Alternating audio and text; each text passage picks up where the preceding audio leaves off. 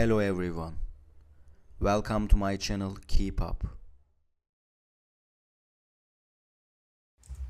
Today, I come to you with a video about Sıla and Halil.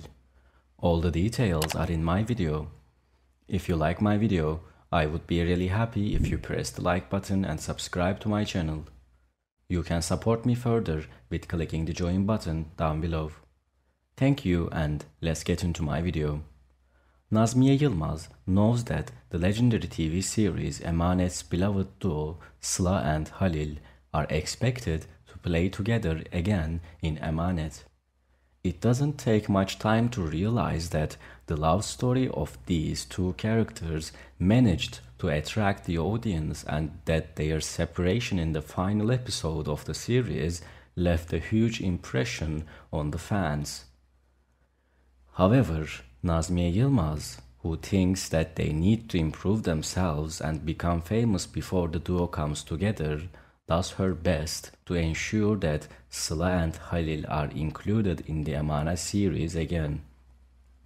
She thinks that in order to get them to rejoin the series, they will need to have a much deeper and more comprehensive understanding of the characters of Sıla and Halil.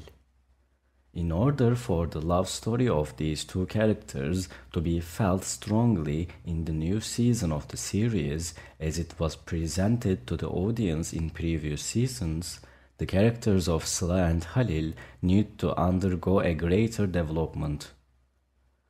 Nazmiye Yılmaz plans to increase their education and training areas to help Sıla and Halil improve themselves in order to reunite the duo in the series.